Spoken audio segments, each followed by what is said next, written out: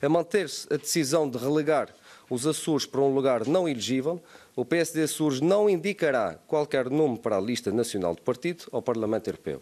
O líder regional vai ao Conselho Nacional do PSD manter uma posição de força. Até quarta-feira temos a legítima expectativa de manter a nossa posição e que a direção nacional do partido reflita sobre a posição da Comissão Política Regional. Mas uma coisa é certa, é que nós saímos daqui hoje com base numa uma vitória inequívoca no Conselho Regional daquela que é a intenção da Comissão Política Regional e que nós sentimos muito agradados, por um lado, que esta é uma posição em uníssono do PSD SUS e que, por outro lado, também eh, vamos esperar qual é que vai ser a indicação final da Direção Nacional do Partido.